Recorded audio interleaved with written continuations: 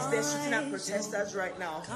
They're in total darkness. They turned off the screen. Protesters are in darkness and they're shooting. Somebody has been killed. They're shooting at everybody that you can tag. Obey to